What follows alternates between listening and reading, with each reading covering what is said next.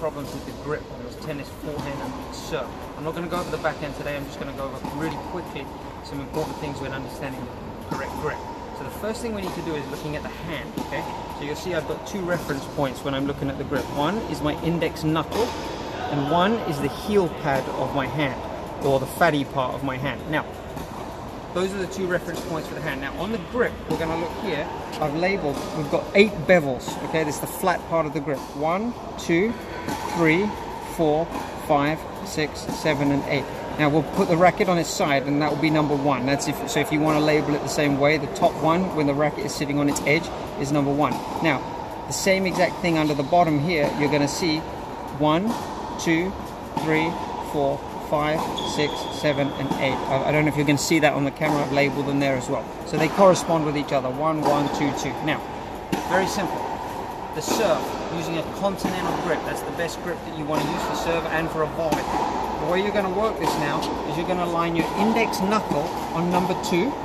Okay, so there's number two, there's my index knuckle, they're lined up. That's the first reference point. The second reference point, remember, is my heel pad down here. Now, I'm also going to make sure that that X, where my heel pad is, is lined up on number two as well. So the fat part of my hand, now see, I could have it on number three, that would be incorrect. So I need to make sure that the number two is on the heel pad and my index knuckle is on number two. That's the contact, uh, that's the correct grip for a continental grip, which is for your serve and for your volley. Now, let's go to the next phase. So that's a continental. Now let's go eastern forehand. All I do now is I shift my index knuckle over to number three.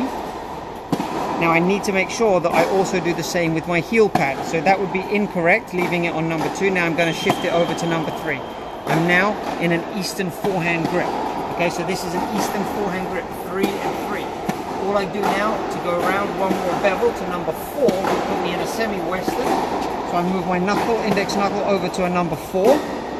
And then the same thing here. I move the heel pad over and I put it on number four. I'm now in a semi-western forehand. Okay, so four and four, that's semi-western, three and three is eastern forehand, two and two is continental. And the last one here, we go western.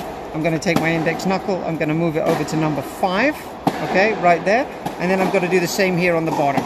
So now I'm going to make sure that my heel pad there is on number five. As you can see, one, two, three, four, and right there sitting on the heel pad is number five. That would be a correct Western forehand. That's very, very simple. Use the index knuckle and the heel pad on your hand. Those are the two reference points, and you can use the labeling like I did on the grip to help you to find the right place to start. But hope that helps with the uh, with the grip for everyone out there. Thanks.